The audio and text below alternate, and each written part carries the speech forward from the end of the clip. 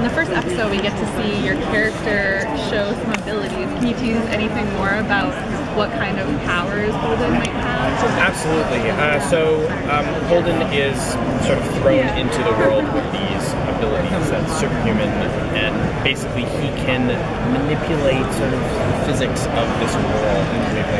matter and energy and sort of like a telekinesis that he has, which at first is very outlandish and huge to him. He doesn't know how to control it, but uh, eventually, hopefully, he will be able to hone those skills into something that is sort of more of a practice power. What's it like to kind of play?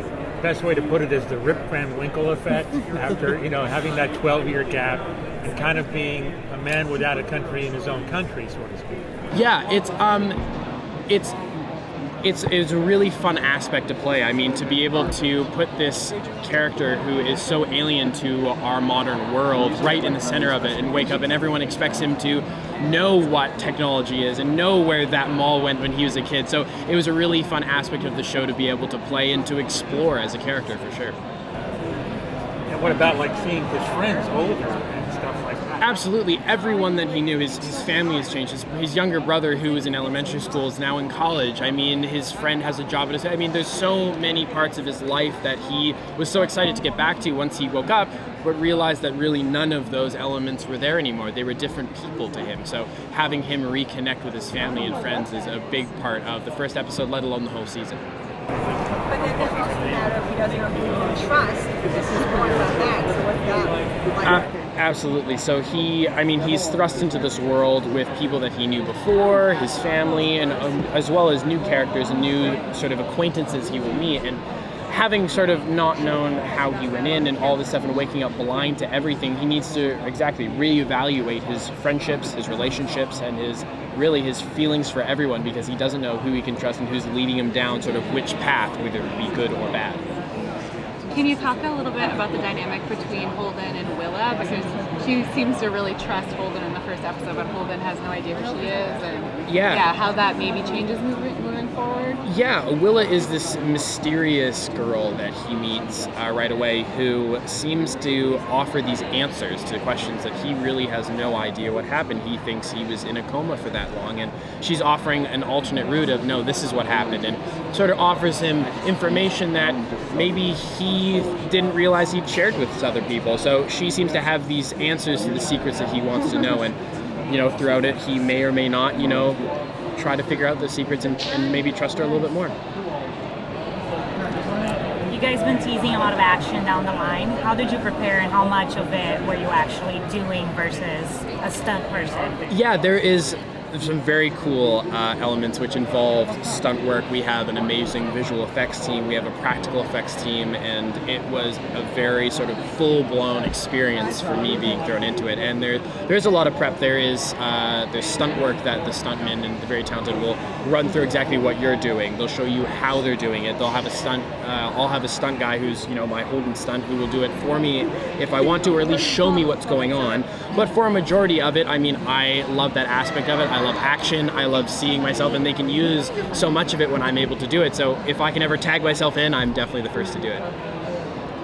Um, in the teaser, we see some glimpses of maybe where Holden was or where his mind was in this time.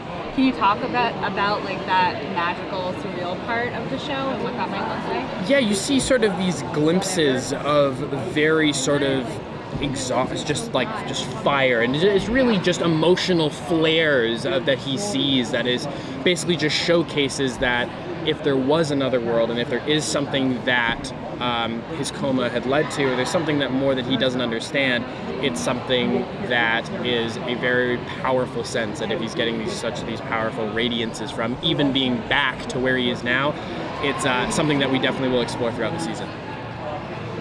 Does that explain why he comes out of the coma jacked?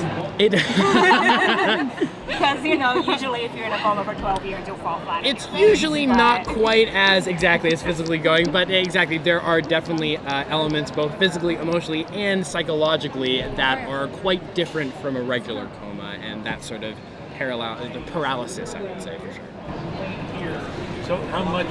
I, I guess we'll just sort of peel back the onion a little bit and get more and more info. Of course. As the season goes on, as far as what actually happened. Yes, it is. I mean, in the first episode, we're meeting a lot of characters, so it's us, you know, setting up and who Holden is and him coming to sort of fruition of, of waking up really into this giant world. But exactly as as you sort of witness this world with Holden, he wants to exactly peel back those layers, figure out what went on, and really see what happened in the past, what led him to the present, and where he'll go in the future. So that is something throughout the episodes that you sort of take that journey with him and figuring out what happened to him and where he's now going.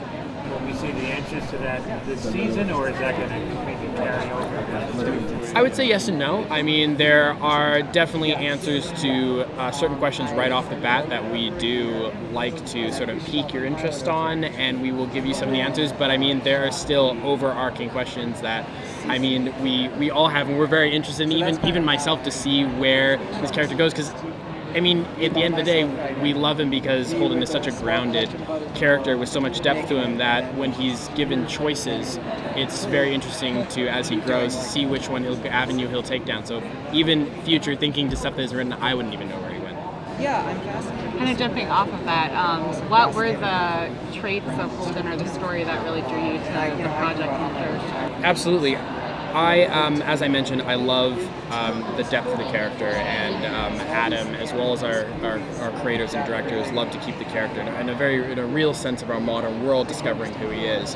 And I think that was one of the uh, the fun parts that I really enjoyed and, and continue to enjoy uh, seeing is that that discovery of, of all of his avenues of life coming to sort of grow up that dozen years in front of your eyes and all those teenage years that sort of ground us and make us who we are today and you know whether your childhood experiences your midlife whatever it is and he experiences all those on screen. So it's it was very fun and that really drew me to it which was a, a fun part to be able to revisit something that I had I had of course experience that made me who I am and also see sort of how to reenact those and create what the character would then sort of how he would derive the rest of his life.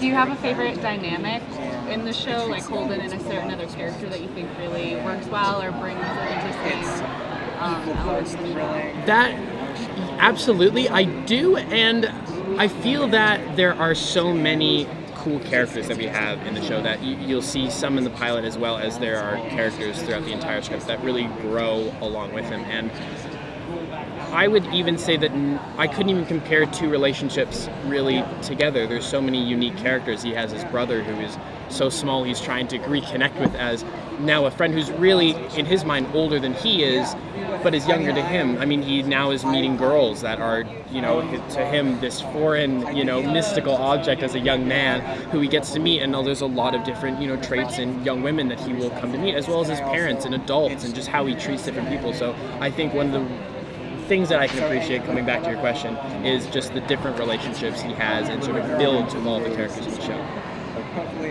Yeah.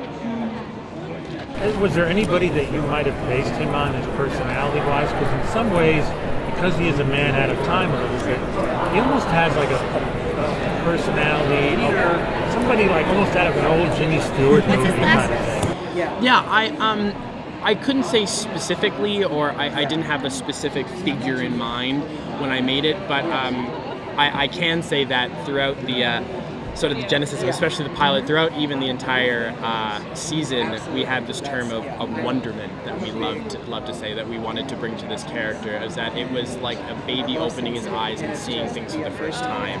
And so we really wanted to just sort of keep, sort of as you mentioned, a man out of time, sort of seeing no matter what it was, whether it be a phone or an experience or something that he had to do or something that he discovers about himself. So I would just say that is that he sort of, I just tried to keep as much of a sort of a blind eye and sort of take yourself back to that adolescent place and have that wonderment as we all sort of enjoyed watching that character scene. Having an innocence even with all those, even with those powers, still having an innocence about it. Definitely, absolutely, and that innocence of not knowing. I mean, he is the one that is given these abilities and at the end of the day has this unbelievable superhuman powers to use when he's able to control them. So he puts people in danger, he puts himself in danger, and at the end of the day, it's his decisions. And being the adolescent, innocent guy in the room, it puts a lot of pressure on him to have to make those calls because he's either going to hurt himself, hurt others, and it's a very difficult position to put him in, in that place of power. You have time for one more question. Um, I was just going to say, you talked a little bit at the beginning about um, the technology aspect, and it's always kind of fun with this kind of story to see the big jump. Is there anything that you were like, wow, it really was that long ago, or not that long ago that we, you know, got our cell phones, or anything that, you know, as the character? that we saw in the thing. It was, um, I mean, we. It was cool seeing. Uh, we kept uh, the first thing that would pop to mind is um, in the show. It begins as Holden as his 13 year old, and then he comes back, and we preserved the room, like Holden's room, as his parents had left it literally from the day that he left to the day that he came back and awoke. And I think that was really cool. Is that our art department, as well as everyone else in our props and our amazing crew, had made this room up to be a 13 year old's room of the time of that period. And it was, it was very cool to i mean as we shot it then but also go back and revisit and see like he still appreciates that stuff and there's a scene of him walking into the room and sort of revisiting all his sort of his past and all, all the things that he put him, himself on the wall so that was a cool part exactly he's appreciating what i what the character had and what i had really a dozen years ago. Thanks, guys. great. Thank you all so much